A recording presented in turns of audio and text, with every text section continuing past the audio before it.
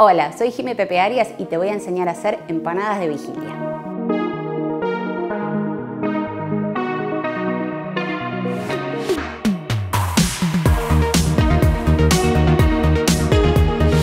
Lo que vamos a hacer es un hojaldre rápido, porque las empanadas de vigilia son así como bien eh, aireadas, que por lo general se usa hojaldre, pero es una técnica mucho más complicada. Con lo cual vamos a hacer este que es súper fácil para que todos lo puedan hacer en su casa.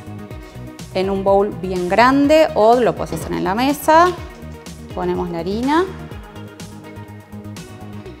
la manteca bien fría, con cornet o lo puedes hacer con tenedor, vamos a ir arenando. La idea es que la manteca no se derrita, por eso nos sirven mucho los cornets o el tenedor. En su defecto tener la mano bien fría. Una vez que el arenado ya lo tenemos, no importa si te quedan pedacitos grandes porque eh, la idea de esta masa es que se separe la manteca con la masa de, de agua. Así que va a quedar mucho mejor, inclusive si te queda algún grumito vamos a ir sumándole muy de a poquito el agua. Y vamos uniendo. La idea no es amasar, sino unir. Vamos a correr porque vamos a buscar papel film. Si no tenés papel film, una bolsita para poder llevar la masa al frío. Trata de darle una forma más o menos rectangular. un poquito y así la llevamos al frío.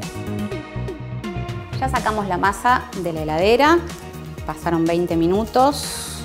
Para crear este falso hojaldre vamos a necesitar darle unas vueltas, lo que se llama en panadería vuelta simple.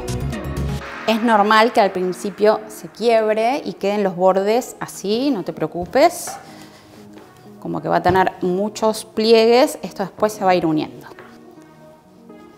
Para hacer la vuelta simple vamos a girar un tercio al medio y el otro tercio lo va a cubrir.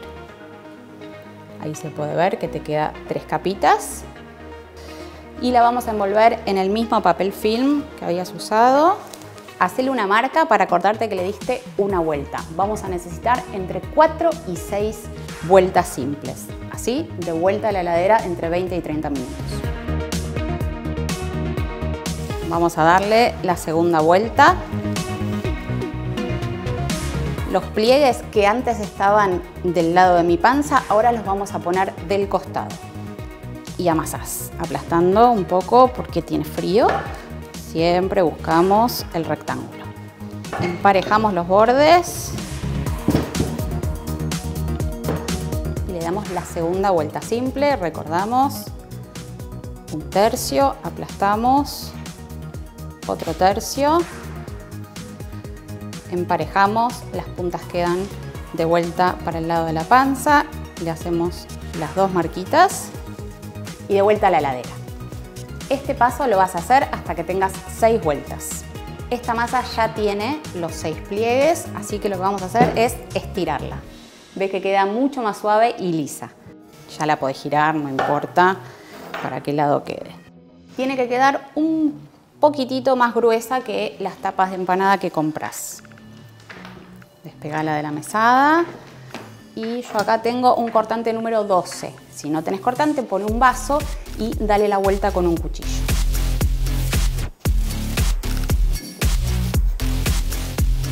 Una vez que tenemos los discos, Podés separarlos con los separadores de cocina y de esta manera vas haciendo todos los discos.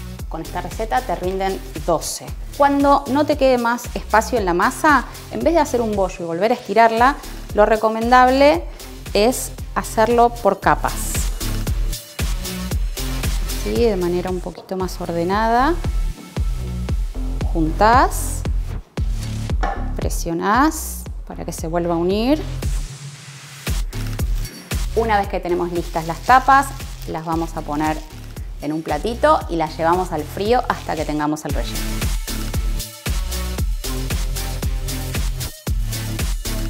Para el relleno de las empanadas de vigilia vamos a usar dos latas chicas de atún, que son más o menos 250 gramos, una cebolla, un morrón, un tomate, condimentos a gusto. En este caso yo elegí orégano y ají molido, un poco de sal y un poco de pimienta. El primer paso es picar los vegetales.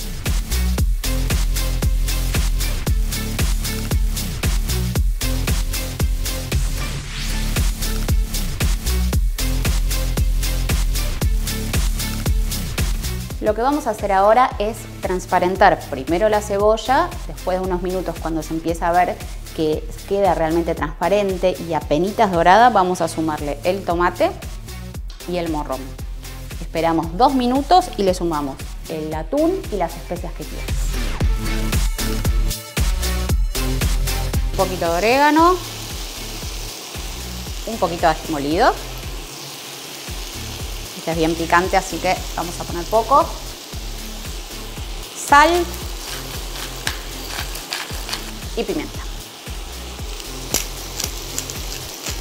Vamos a apagar el fuego y a sumar el atún. Lo unimos a la mezcla y lo dejamos enfriar. Ya tenemos las masas que sacamos de la heladera. Vamos a agarrar una, estiramos un poquito. Vamos a pincelar con huevo solamente el centro para que se adhiera el relleno. El relleno ya está frío. Ponemos un poquito y la cerramos. Para cerrarla vas a usar los dedos y vas a dejar el extremo así.